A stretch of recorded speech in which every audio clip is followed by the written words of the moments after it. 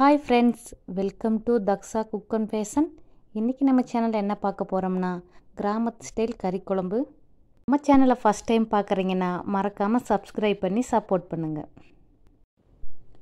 Mutton முக்கால் kilo. Mutton கொழுப்பு தனையை எடுத்து வச்சுருக்கேன் வரமிளகா ஒன்று கருவேப்பிலை கொஞ்சமாக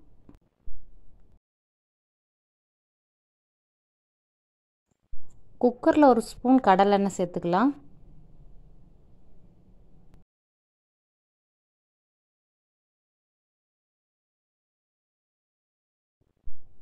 கொஞ்சமாக கடுகு.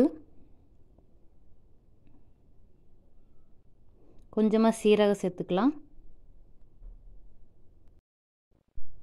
இப்போ கருவேப்பிலை வரமிளகாய் சேர்த்துக்கலாம்.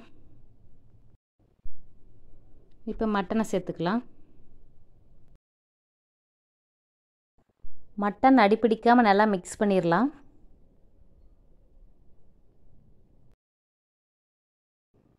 மட்டன் வேகிறதுக்காக கொஞ்சமாக உப்பு சேர்த்துக்கலாம். மட்டன் மூழ்கிற அளவுக்கு தண்ணி சேர்த்து குக்கரை மூடி அஞ்சு விசில் விட்டுறலாம்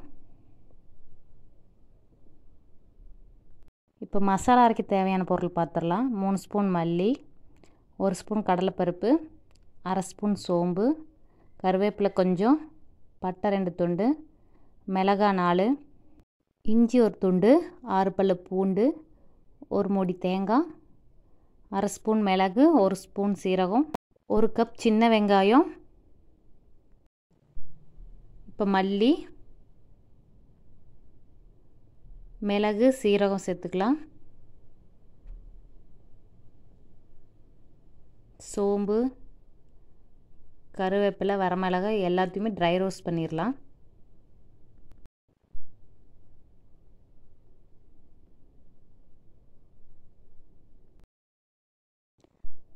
அடுப்பை சிம்மில் வச்சு அஞ்சு நிமிஷம் நல்லா வறுத்துக்கலாம். இப்போ நல்லா ரோஸ்ட் ஆயிடுச்சு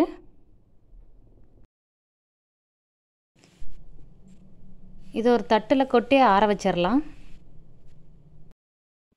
இப்போ அதே கடாயில் ஒரு ஸ்பூன் ஆயில் சேர்த்துக்கலாம்.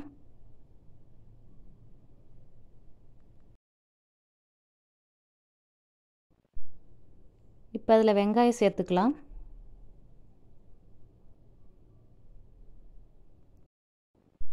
இஞ்சி பூண்டு சேர்த்துக்கலாம்.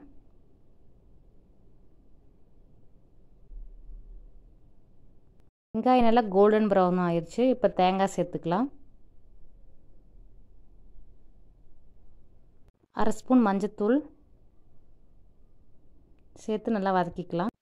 இப்போ மிக்சி ஜாரில் ட்ரை ரோஸ்ட் பண்ண மசாலாவை அரைச்சி எடுத்துக்கலாம். கூட வதக்கி வச்ச தேங்காயும் வெங்காயம் சேர்த்து நல்லா அரைச்சிக்கலாம். இப்போ இந்த மசாலா வரைக்கும் கொஞ்சமாக சின்ன வெங்காயம் ஒரு தக்காளி கொஞ்சமாக கருவேப்பிலை. இப்போ கடாயில் கொஞ்சமாக எண்ணெய் சேர்த்துக்கலாம். கடுகு வெங்காயம் கருவேப்பிலை.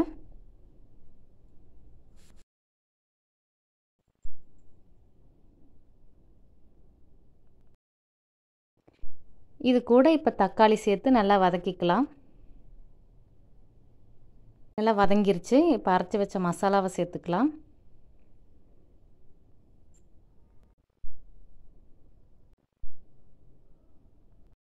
இப்போ குக்கர் ஓப்பன் பண்ணி மட்டன் எடுத்துக்கலாம். இப்போ அந்த தண்ணி கூட உப்பு போட்டு குடிச்சா நல்லா டேஸ்ட்டாக இருக்கும். மட்டனை இதில் சேர்த்துக்கலாம்.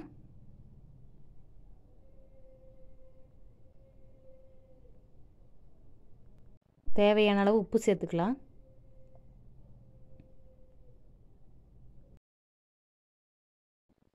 தனியாக எடுத்து வச்ச கொழுப்பு இதில் சேர்த்துக்கலாம். நாம் ஏன் ஃபஸ்ட்டே கொழுப்பை சேர்க்கலைன்னா கொழுப்பு நல்லா எண்ணெய் மாதிரி கரைஞ்சி மிதங்க ஆரம்பிச்சிடும் நாம் மட்டனை சேர்க்கும்போது கொழுப்பை சேர்த்தா போதும்.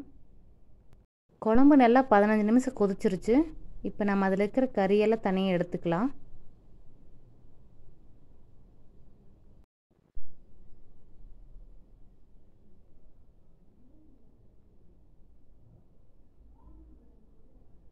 கறியை தனியாக வதக்கிறதுக்கு அரைச்சி வச்ச மசாலா கொஞ்சம் பெரிய வெங்காயம் கொத்தமல்லி தலை கருவேப்பிலை பச்சை மிளகா கரம் மசாலா கொஞ்சம்.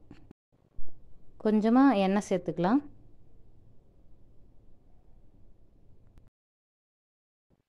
கடுகு வெங்காயம் பச்சை மிளகா கருவேப்பிலை சேர்த்து நல்லா வதக்கிக்கலாம். இப்போ நல்லா வதங்கிருச்சு. மசாலாவை உள்ள சேர்த்துக்கலாம்.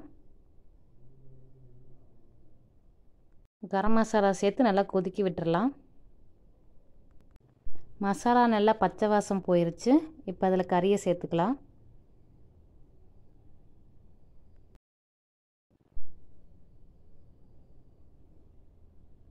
கொஞ்சமாக உப்பு சேர்த்துக்கலாம். கறி நல்லா ட்ரை ஆயிடுச்சுன்னா அடுப்பு ஆஃப் பண்ணிடலாம். இப்போ ரொம்ப டேஸ்டான கிராமத்து ஸ்டைல் கறி குழம்பு ரெடி ஆயிடுச்சு நீங்களும் உங்கள் வீட்டில் ட்ரை பண்ணி பாருங்கள் இந்த வீடியோ உங்களுக்கு பிடிச்சிருந்தா மறக்காமல் லைக் பண்ணுங்கள் ஷேர் பண்ணுங்கள் தேங்க்யூ.